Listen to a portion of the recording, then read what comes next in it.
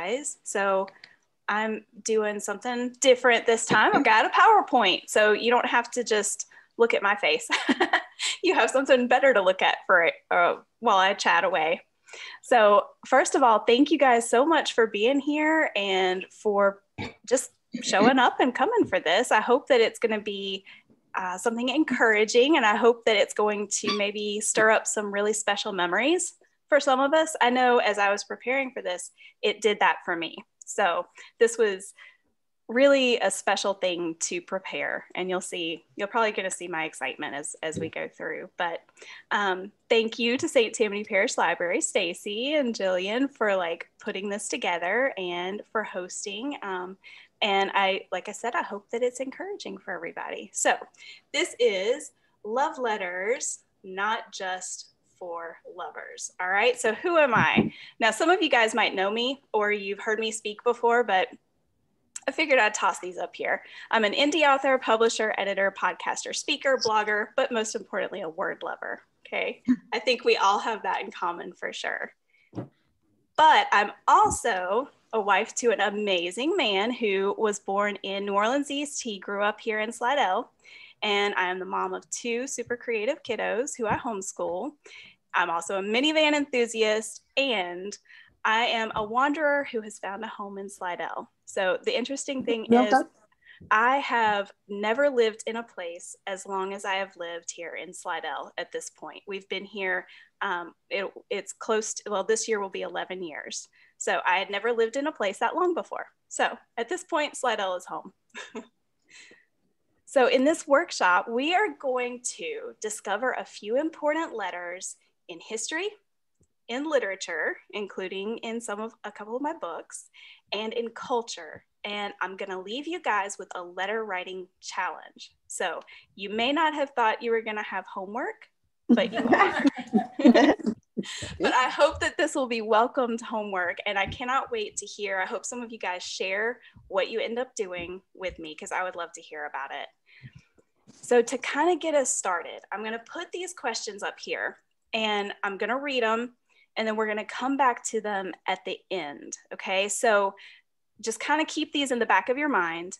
And at the end, after we've kind of gone through um, some of the things, I would love to hear if some of you would like to share some of your answers to these.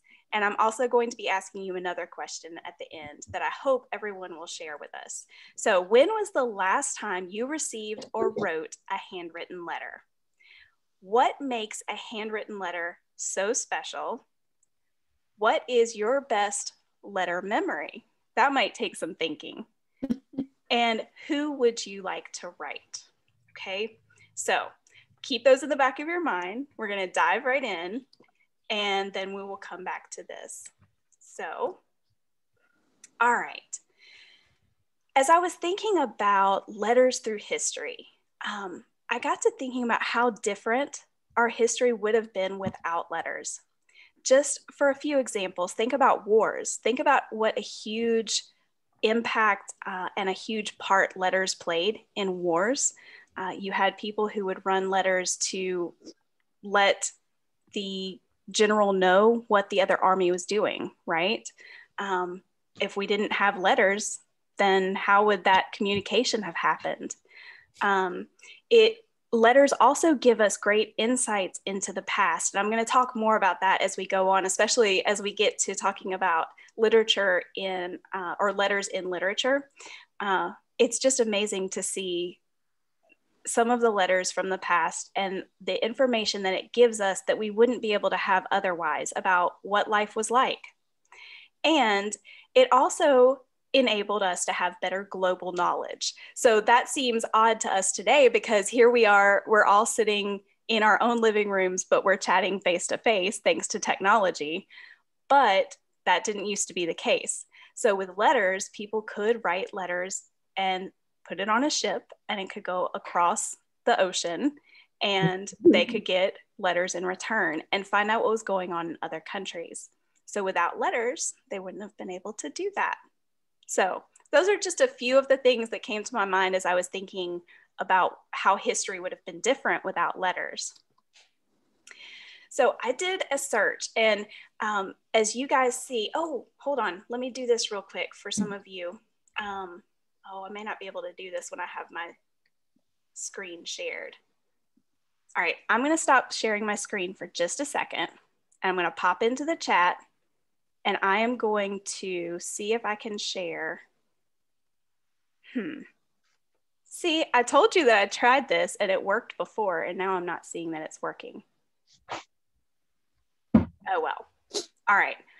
Then Stacy is so sweet and kind. She is going to send out to you guys the PDF of this PowerPoint. And in that at the end, you will have uh, two, or actually it's three pages worth. Uh, two of those pages are going to have a whole bunch of books that you can check out with the call numbers from our amazing library that you might find interesting. And another page is going to have some of the links from the information that I'm sharing with you guys. So what I did was I just kind of typed in most famous letters in history. I was curious, what have been some of the most fam famous?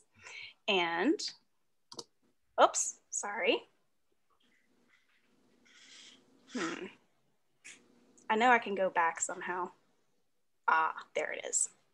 All right, so as I was looking at, I think I looked at several different websites and they had a whole bunch of lists, and I chose the four most popular that I found on all of those lists. And then I added a couple of others that I just found interesting. So these top four Martin Luther King Jr.'s letter from Birmingham jail was by far the most common mentioned letter on the most famous letters list. Then we have Queen Atossa, and this her letter was um, declared as being the first known letter. Now, were there letters before that? I don't know, probably, but this is the first one we know of, and it dates back to 500 BC. Kind of cool. And then Winston Churchill's response to his secretary that he was not going to make a deal with Germany. If he hadn't written that letter, how different would World War II have turned out? And then Einstein's atomic letter um, or atomic bomb letter that he sent to FDR. And this was the letter where he let FDR know that Germany had been working on the atomic bomb. As we know now, looking back, they didn't have what they could have potentially had. And Einstein is known to have said that he kind of wished he hadn't written that letter because it opened up the atomic era. So, hmm after that, so those were those were the four most common that were on all of these lists that I saw. Then Abraham Lincoln, uh, his Bixby letter has been very interesting in history. And I did not know about this until I was reading about it. And in the list of links, there is a link that is specifically about this letter, that they have come up with some new information and some new proof that Abraham Lincoln did, in fact, write this letter himself. This was a letter that he wrote to a young uh, or a mother. Her name was Mrs. Bixby, and five of her sons died in the Civil War. Mm. And over the years, people have said, oh, it was his secretary who wrote this or whatever. But according to this article that you guys can check out, um, there's new research from his son that his son said, no, my dad wrote that. So little interesting tidbit. I could just picture Abraham Lincoln sitting at his desk writing this letter. And it's also labeled as one of the most beautiful letters um, in history. And then, of course, the letters of St. Paul and of others. I mean, all the letters that we have in the Bible, um, I think those are pretty neat, and especially that we have them still. So, what about in literature? letters have long been influential for authors' creative lives. And we see this in authors writing letters to one another, letters of encouragement to one another. We see this in aspiring writers who write to authors asking for advice. Uh, and then authors to famous people or influencers, maybe it's politicians or things like that, um, where we have a lot of letters throughout history going back and forth between some of them. And then, of course, you have the uh, letters from fans that a lot of authors receive and often answer. And it could also be just encouragers. You know, behind every author, there are usually family and friends who support them and encourage them. And so, in a lot of collections of letters for authors, you'll find a lot of those letters. Um, also, many authors, I would imagine, have been inspired by letters for their own writing. Now, I only did a quick search about this because I thought, oh, surely there's a ton of authors who credit some sort of letter with an inspiration for their book. But the one that really popped out in my very brief um, check was Jack Kerouac. Uh, he was inspired by a kind of drug induced, apparently, letter to write his book on the road. So I thought that that was kind of a fun little bit of trivia. There are countless book examples of authors' letters, and you're going to find on that list from all of the books that you can find at our library that they have a ton of books that are just collections of letters that authors have written to one another or to their fans or um, you know that whole list of things that i mentioned a moment ago. And there are also some other books in the links. You'll see some links to some other books that our library doesn't have that also share some amazing letters amongst authors. Um, i always think about j.r.r tolkien and all of the inklings and how they got to meet together, but they also wrote letters to one another. And it was a way that they um, they shared with one another, they encouraged one another, they helped one another be better. And I just love that. Um, so some examples, and these are ones that you won't find at our library, but the letters of Flannery O'Connor, um, The Habit of Being, and this is edited and put together by mm-hmm. Sally Fitzgerald. Then C.S. Lewis's Letters to Children, and I think that this is the cutest thing I've ever seen. Mm-hmm. These are letters, he would receive letters from kids all the time asking for help with their mm-hmm. own writing. And he would respond to every single one of them. And he gave such great advice. So that is a book that I'm very excited to get my hands on. And then as of course I mentioned, J.R.R. Tolkien, and I happen to have a copy of this one. This is the letters of J.R.R. Tolkien. Oh, and these are letters that he wrote to uh, his publisher, to other authors, to uh, family members, to so many different people. It's just an incredible book.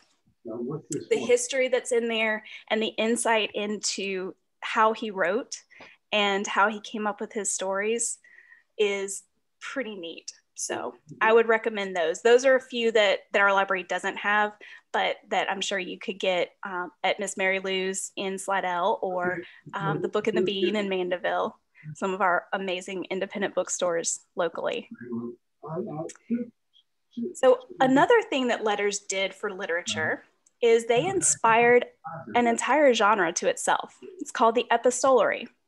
So uh, the very first, well, not the very first, one of the first, let me say it that way. One of the first epistolaries was Pamela by Samuel, Samuel Richardson. Some of you guys may have read this in maybe like a literature class or something, maybe in high school. I remember I had to read it and I'll be honest, I thought it was horrible. I did not enjoy it at all. But it is written as a just a group of letters written by this girl to her parents.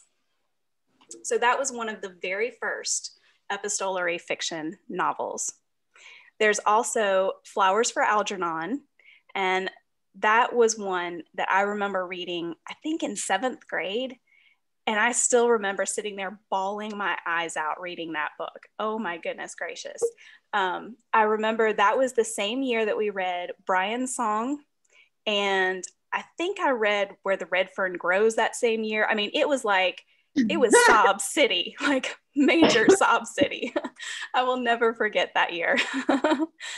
so, those are a couple that um, I couldn't find on our library's website. They might have these. I don't know. Maybe I didn't type it in quite right. Um, I know Pamela has a different name too. It's like Virtue, Virtue, oh, Virtue Rewarded. So, it could be in the catalog under that name instead.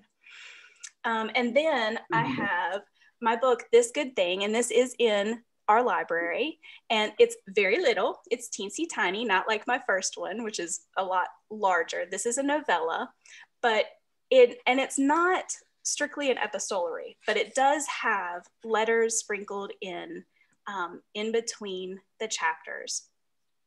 And they are letters that are written by the main character carolina who knows that she is in her last year of life and carolina is a young mother and she's writing letters to her daughter. So you can imagine you're probably going to need tear, uh, some Kleenex for this one as well. Um, but our, our library does have this. And the book, one of the books that I'm currently writing that I hope will be out soon is called One Good Thing. And it is an epistolary and it will contain uh, letters and journal entries. So I am very excited to have that one released soon, I hope. I'm hoping this year, fingers crossed. So, as you guys can see, letters have kind of been a big part of my own writing. Um, when I started writing, I started writing Any Good Thing. That was my first first book. It's back there behind me somewhere.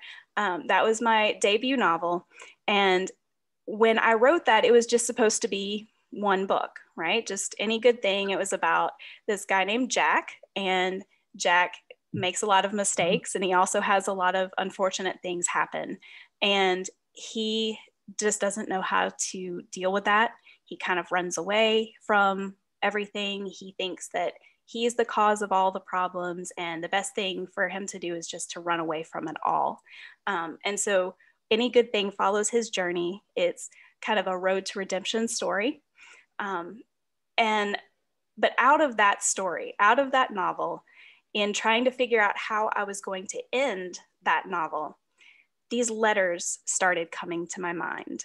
And these letters were not from a character who was even in that book. They came from Carolina, the main character in This Good Thing, who had passed away years before.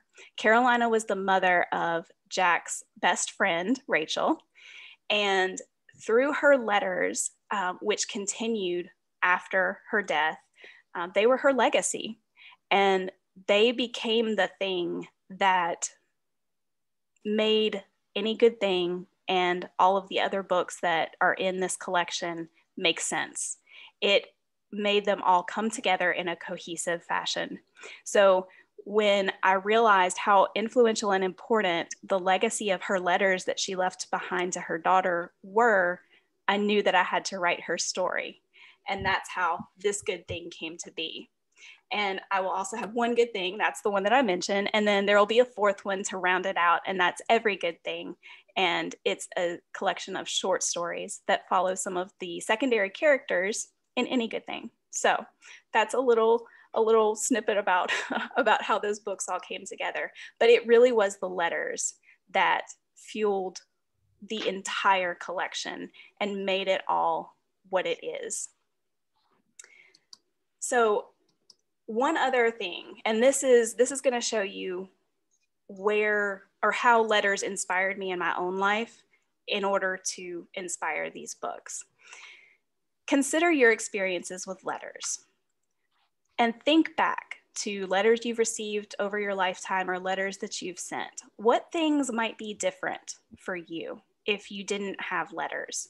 Um, you know, for me, I my brother was in the Marine Corps, and one of the things that they always tell you when you have a loved one who is in a branch of the service, if they're going through training or if they're overseas, um, they say send all the letters you can because that encourages them and it kind of gives them um, just a little boosted morale when they receive letters in the mail. So when my brother was in boot camp, I was young. I was probably, mm, I don't know, probably around nine, nine or 10, maybe, uh, maybe even younger than that. And I just remember writing him letters and receiving the letters from him on the Marine Corps boot camp official stationery that, that they gave them. And uh, that was such a great time. It was an opportunity for me to really get closer to my brother through those letters. And then um, I had the opportunity to write letters to another guy later uh, in my life when he was going through training. And so that just always kind of stuck with me. And Letters from Boot Camp shows up in any good thing. Uh, it's kind of a, a, big part. Then I've also had pen, pal- pen pals from around the world. I remember having a pen pal when I was a little girl who lived in Scotland. And I got to learn a little bit about their country and um, about her. And I just thought it was the neatest thing that I could communicate with someone across the pond, as we like to say. So then this is where it gets really sappy and sweet. And you're going to see just how far back letters go for me. And I have a feeling that a lot of you might have some things like this too. These are letters that were written by my great, great, great, great, four greats grandfather to his daughter back in the 1890s. Wow. My grandfather was, his name was Isaac Simpson, and he was a ship captain. And these are the letters that he wrote to his daughter that got passed down. And he died in a shipwreck. Um, but we we know a lot of things about the shipwreck. We know a lot of things about them, and we know, um, you know, obviously about his relationship with his daughter thanks to these letters that have lasted for so long, and thanks to my grandparents who passed them down. and speaking of my grandparents, these are their love letters. Mm-hmm. So I'm going to try not to cry. But anyway, my grandmother passed away um, just a few years ago. My grandfather passed away a number of years ago, back when I was in college. And he and I had a very special relationship. And he was the one who I talked to probably the most about being a journalist, about being a reporter. That's where I began my career. And he loved English. He loved to write. He wrote his memoirs. I have his memoirs, which is an, another just absolute gift in itself. Uh, and I just remember having those conversations with him where he would talk to me about his own writing and he would talk to me about um, the things that I read about in the letters or in his memoir. Um, so letters are a huge, have been a huge part of my life and a huge part of, in, well, a huge influence, I guess, on how I write and why it's just natural for me to include letters in the writing that I share. So they're just, um, letters are also great reminders of the past. You know, when we go back and we look through the letters that we've received, it reminds us of things that we probably have forgotten about, you know. All right, so what about our culture today? Do we feel like, and I'm not going to answer these questions, these are kind of just thought questions, rhetorical. Is letter writing a dying art? And what are the cultural implications of this?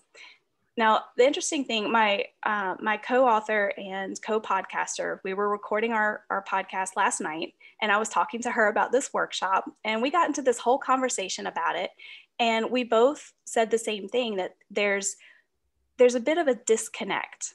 Um, it feels like that might be a void because of not having handwritten letters. Um, it's just not the same when you quickly dash off an email or um, you send a text with pictures instead of letters. you know, it's it's not the same. And I think that we do kind of have that disconnect because we don't have the more um, personal interaction of sitting there and writing out our thoughts by hand to another person. Um, I think, and this is something that I'll probably talk about a little bit when we do the journal writing um, workshop next month. I think that's on March 12th, mm. uh, where, you know, journals are such a huge thing to help us think through life and to think through who we are and what our place is in this life. And letters do the same thing. Um, they're just a way that we can share and communicate that with someone else. So, how will this affect future generations? Um, and you know, you think like right here, I'm sitting here holding letters that were written in the 1890s by my great times four grandfather who of course I was never going to be able to meet, but because I'm, I'm holding letters that he held that his pen wrote on, um, there's just something very special and tangible about that cultural um, part of history, part of my personal history. So what we've done so far is we've discovered a few important letters in history, in literature, and in culture. Oh, I forgot. I was going to read you guys just a couple of things from here. Hold on. How are we doing on time, Stacy? Good. Good. Okay. Because they're short. I'm just going to read a couple of paragraphs. And then um, after that, we're going to dive right into the letter writing challenge. So, so this is from This Good Thing. And these are the letters that were written by Carolina to her daughter um, that she wanted to make sure she wrote a letter for every every big event that she could think of that would happen in her daughter's life that she wasn't going to be there in person for. so this one is when you're ready to say I do. I do have a few thoughts to share with you about marriage.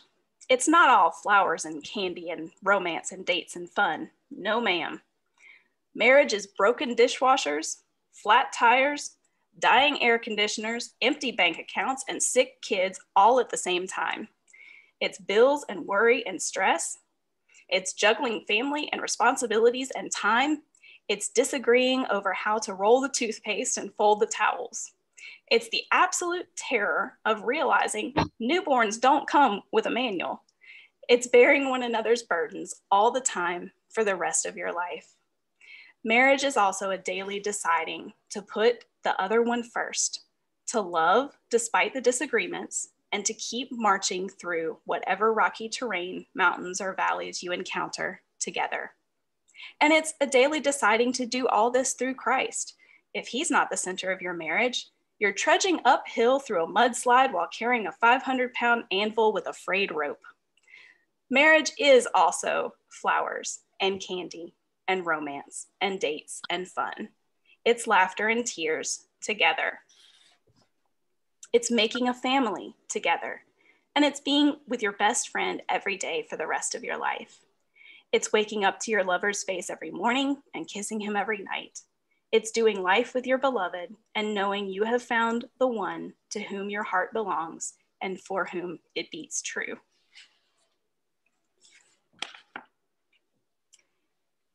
And then this is from One Good Thing, which is still being written. So you guys are actually the first people to hear any part of this. So One Good Thing is, I told you it's, it's, a, it's a combination of letters and journal entries. And the letters are from the main character of Any Good Thing, Jack Calhoun. And he's writing these letters um, after he's kind of run away from things and he's writing to someone he left behind someone he doesn't think he'll ever see again. Um, and he, he left her behind for a purpose.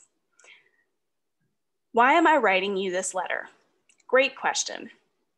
Maybe because I'm not really ready to say goodbye. Maybe because I don't have to move on because I never really can or deserve to. Maybe because I've gotten used to this whole letter writing thing. I guess some people journal their thoughts, I'd rather tell you about my days. Maybe I just want someone to talk to, someone who knows me better than anyone else, someone who won't put up with my crap, someone who can uncover my heart, my soul, my hidden self, the good and the ugly. Because I need you. I need you so much it terrifies me. I'm a mess, but you always saw beyond that. Maybe writing to you will help me clear away some of the mess and help make sense of the confusion I feel twisting up inside me. All right, so are you guys ready for your homework? All right, you probably figured it out. I want you guys to write someone this weekend. Okay, so like don't even wait until next week like in fact do it today because you know what's going to happen if you're anything like me you're be like oh yeah that's a great idea i'm going to do that on tuesday and tuesday's going to come and you will have forgotten all about it so do it today. Who are you going to write? Okay, it could be a family member or a friend. Um, it could be a future generation. Maybe you want to write to some person in the future. Okay, talk about what life is like in 2021. Maybe you want to write to someone who is lonely. And here's where I know I don't know if they're still doing it. Maybe maybe one of you guys knows. I know Greenbrier had a pen pal thing going on where you could write to a member, a resident of Greenbrier, and I think there might have been some other um, other residents like that where you could do that kind of pen pal thing. Um, so maybe you can think of someone who's lonely. You could write to someone famous. You could write to you could write your congressman. you could write your favorite author. You could write um, just someone that you admire. you could also write someone who's passed away. Um, there, like, I want you guys to think outside of the box on this. Um, sometimes we miss people who aren't with us, and it's very therapeutic to get our thoughts down, things that we wish that we could say to them. You could write a letter to God. You could, and I don't have this on the list, but you could write a letter to yourself. Um, you could even write a letter to your younger self. Like, what would you have said to yourself at age 16 or 20 or whatever? All right. So think outside of the bo- the envelope, huh? and outside of the mailbox. So you don't have to put this in the mail. Okay. You also don't have to put it in an envelope. I still have this. My sister sent me this for my birthday when I was in college, and it is shaped like a bottle. And it has inside of it a sweet little note from her, but it has candles and it has this little tiny balloon that says happy birthday. And it has this little tiny present, like, you know, little box that looks like a present. And I don't know how she mailed this, but obviously they let her. And I still have it today when I was talking with my friend May last night, she showed me one of the most beautiful things I've ever seen. And I kind of teared up a little. She did a message in a bottle that she wrote to her now husband when they were dating, and he still has it. Um, she said that she went to the Dollar Tree. She got um, just a glass bottle. She got some of that burlap twine or whatever it's called. I can't remember what it's called um, wrapped it around, put some beads on there. It looked really pretty. And she put this letter inside of it to give to him. And they still have it. I was like, oh, that's so sweet. And I have to share that with everyone tomorrow. so I also hope that you guys will share this challenge with others um, and definitely commit to doing it. And then let me know how it goes. So now we've reached the actual like back and forth part of this where I would love to know what you guys think about each of these questions. So if you want to answer any of these, you're welcome to. But I definitely would love to know who your person is you're planning to write. Mine's my brother. Okay. He's a great guy and he doesn't know it. So that's my thing between and let him know. Oh, I love that. That's so special. I'm going to write a letter to my grandchildren. Oh, they'll love that. I'm going to write six of them because I have six grandchildren. Yay! You get the gold star. oh, thank you. Joy, so mm-hmm. You think this need? So I'm a little the, the handwriting part always slows me down because I can type faster and I can fix it if when I want to you know express it in a better with better words and so what do you think about that yeah i definitely think that that that's fine i think so i think that it's really the heart behind it and this is something it, and I, I love that you said this because this is something that may and i did talk about last night mm-hmm. um, most often when we're sending an email we're doing it very quickly a lot of times we might even be doing it from our phone in between 50 tasks and our minds aren't really there. When you are writing, whether it's an email or a letter, whatever you're writing, whichever method that you're you're choosing to use, mm-hmm. if you take the time to sit and and spend that extra time and think through what you want to tell the person and you share meaningful things it's Mm-hmm. obvious to the person receiving it Qualifies. Okay. yes definitely I did- definitely I did write a hand. I just, I think I saw that this was coming up and I, it, that sort of triggered something like, you know, I got, I, you know, in terms of like getting and receiving holiday cards, I got one, you know, and then I'd already sent it. So I, you know, I wanted to talk to her about what she'd sent. So I did, I did actually hand wrote it and it's not as bad as I thought, but, um, but, but I just need that permission, I think. So when I don't, when I don't like the way the handwriting, you know, you know, sometimes it just doesn't work. The handwriting or the pen, I'm not really sure which, yeah but, um, yeah that's true yeah. Okay. Thank you. yeah for I sure might write my children in the future, like to give to them in the future. Somebody had suggested that to me before, and I just love that idea. You Yes. know, because I don't know, they're so into their life now, and and and eventually, the you know, I know just like I was, you know, when I was young, and, and then going through child rearing, not as much time to reflect and want to just piece things together and understand after looking back at what you know my child rearing was like. You know what. Um, you know how what kind of perspective to put it into Yeah. Oh, that's excellent. And that would be a time that maybe um, maybe you could do some parts of that in your handwriting because I think the thing like when I'm looking at this, I'm like, you know, this is my my great times four grandfather who I never would have met, but I know what his handwriting looked like. I, I, I hear you. Maybe I, I, Yeah. I, I think a, hy- a hybrid. Yes, a hybrid. That would be perfect. That would be so perfect. Thank you. Yeah. I've had a long, uh, lifelong connection with letters because I lived away from home for a long time. In Mhm. about five and a half years, I was um, just around the world. And uh, my mother and I exchanged letters. And this was way before cell phones or easy, easy communications and Mhm. telephone calls long distance were really expensive.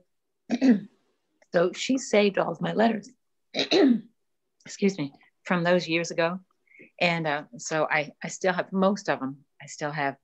And then I have some of my uh, letters from my dad that he wrote to my mother when he was in the army. He wasn't in combat, but he was not a man of many words. And so some of his letters said mm-hmm. were things like, well, I'm only writing a few lines, and he would write lines on the paper but I'd liked, I was, I had a dream last night and it included my mother's mother, my grandmother, who I never knew because she passed away when I was a month old. And I, I realized that I don't know much about her, if anything. And so I had this dream about her where she was just passing through all of my, my life that, where I was at the time. And um, so I woke up this morning thinking that, you know, she would be a good person to because all of my all of my family's older generation's gone. So i have nobody to ask and about if so i thought i might write her a letter and um, just uh, i don't know what what i would say but but i think i'd like to write her a letter. Oh, that's going to be special. I'd like to write um, my granddaughter. She is um, 20, about to be 21. she's in college, doing well, and she has a boyfriend.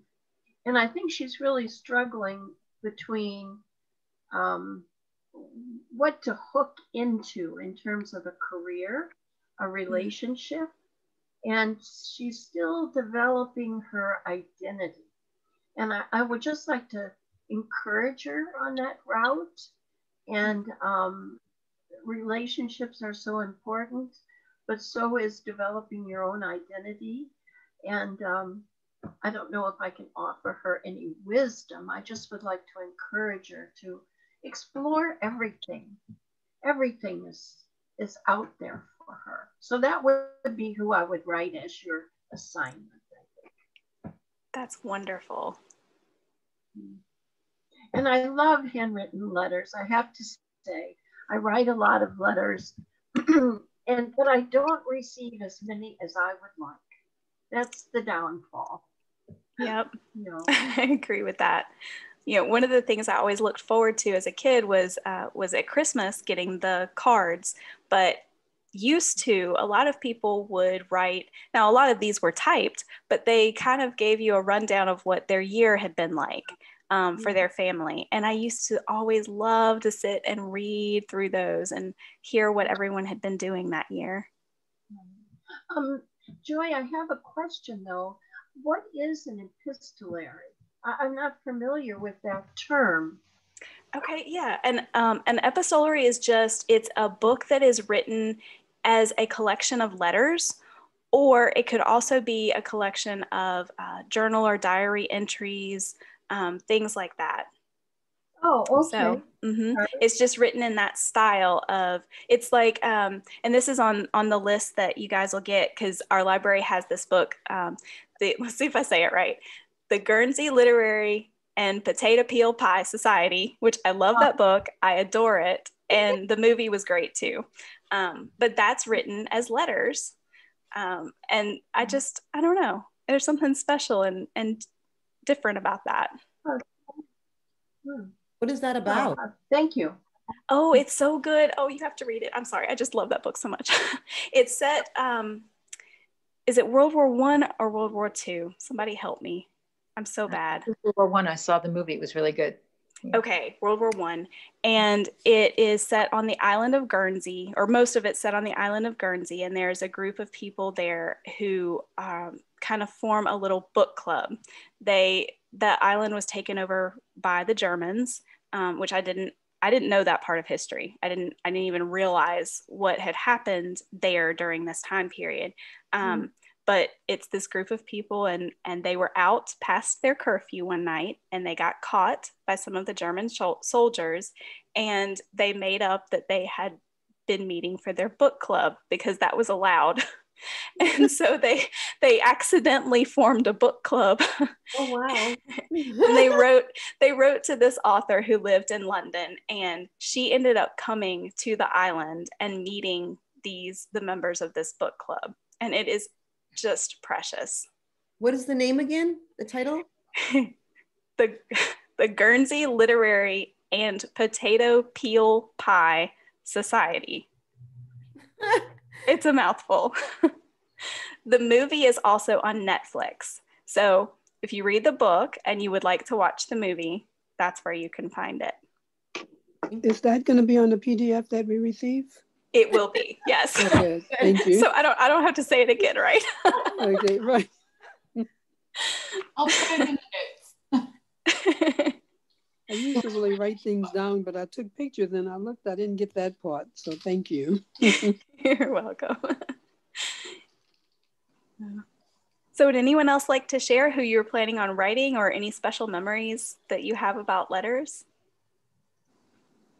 I mean, definitely as you were going through the your the letters that you'd received, I remembered all the ones that I'd received. You know, I have a third grade French class pen pal and you know, I do have letters somewhere, you know, that I have to unearth.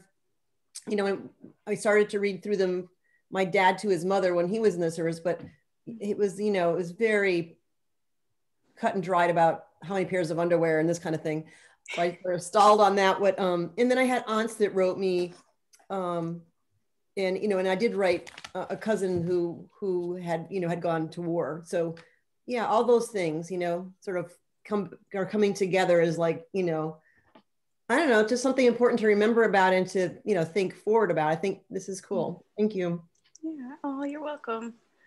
I know. Was, i had so much fun just like doing the research and thinking through the history part of this. Uh, one of the links that'll be in that pdf was a just a whole list of real life messages in bottles and wow. guys i was so inspired just reading those little snippets um, you'll you'll definitely want to check that link out. But just so neat, so neat to think about those things. Mm-hmm. Yeah, many years ago, I, I always had pen pals. They used to be in a newspaper, and you could just pick one. Oh, and yeah. I had several from China, but I don't have the letters anymore. But I still have the pictures of them because we used to swap pictures. oh, I looked my my my pen pal up on the internet, and I, I may have found her, but I didn't know what to do. But I don't think there was an address. But I might look again with this. Maybe I'll write her. oh, oh how fun! That would be really cool. It might be the right person, but it might not. But I could try. It wouldn't hurt to you know send us a short note and see what happens. that would oh, be oh, wow. so neat. You could reconnect after all these years and find mm. out what what she's been up to, and ah, how neat. I'm going to check for names on the back of the pictures. Maybe I could do that. That'd be great. Oh, so neat. All right. Well, um, this is what you're going to get. So these these pages will be in the the PDF file that um, Stacy will send out for me, and I would love for you guys just to keep in touch.